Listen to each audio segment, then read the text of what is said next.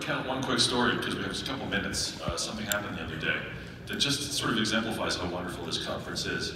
Uh, you might not be aware, but I'm a first generation Ukrainian. I might get emotional as I tell this story because I haven't really slept much and uh, it's just that Vegas air, so I might get emotional. I apologize ahead of time. But I'm a first generation Ukrainian. My parents were born there. They met here, got married here. They had my sister and I here. Uh, so we spoke Ukrainian at home. I was raised speaking Ukrainian.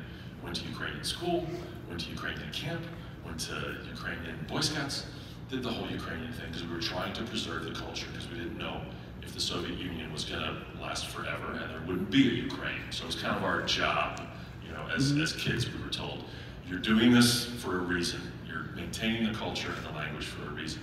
So of course, when the Soviet Union finally fell, surprisingly to us in 1990, my sister jokingly said, can we speak English now?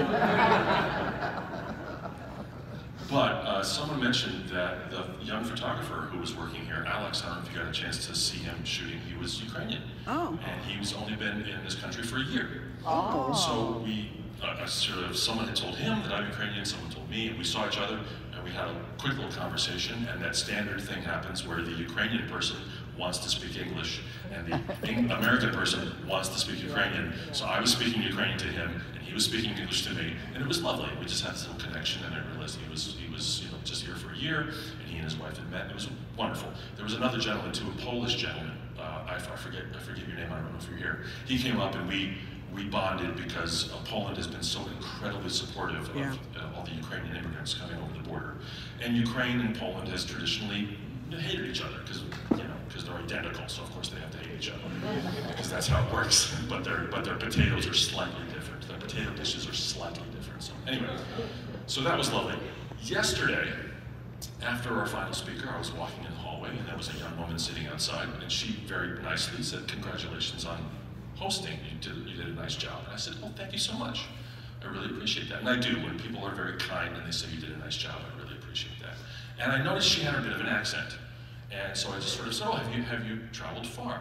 Where are you from? And she said, Minnesota. And I thought, okay, that's not quite a Minnesota accent that I'm hearing, but all right, I'm not going to push the, no, where are you really from? I'm not going to do that. So we keep chatting, we keep chatting, we keep chatting. Turns out, she was born in the Soviet Union, in Ukraine, in Kiev, Mm. I start speaking Ukrainian. She kind of looks at me like, what?